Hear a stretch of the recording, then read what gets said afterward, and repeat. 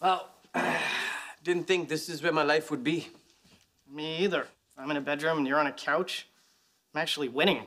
You know, we're both down on our luck. Maybe you and I should try to get a place together. Okay, listen to me. there is no reason to leave here. This is great. Everyone's nice. It's comfortable. If all goes according to plan, this is my retirement home. Did you say you guys are working on the guidance system tomorrow? Yeah, why? Well, Sheldon said that he was going to work with me on our quantum perception project. We've had this plan for a week. Well, he reconfirmed with me this morning. Hey, guys, before this gets ugly, remember the winner gets Sheldon. Hey, Raj, do you want to go with me tomorrow?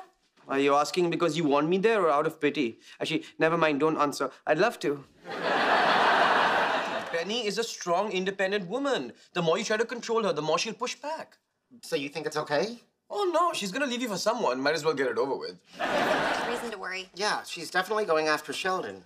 I made a play for her and she shot me down. All right, well, that doesn't prove anything. Yeah, there's a million reasons a woman would shoot Raj down. Like, really? A million? Fine, hundreds. Thank you. Thanks again for breakfast. Well, I didn't get to see you last night. The least I could do. You shouldn't have made the alarm code his birthday. Soon. Why is it taking so long? Uh, Howard, Howard, look at the DVD screen. I put on Batman the Animated Series, your favorite. I'm in too much pain to watch cartoons. Oh, this is a good one. I've been babysitting him way longer than you have. Everyone's a better mom than me. Oh, don't take it so personally. Maybe your baby's just a jerk. Howard.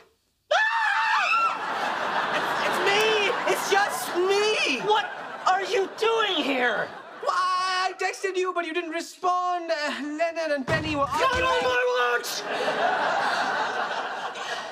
It's fine. It's just Raj. You can hit him with the bat, but it's fine. You just made her laugh. Something's wrong.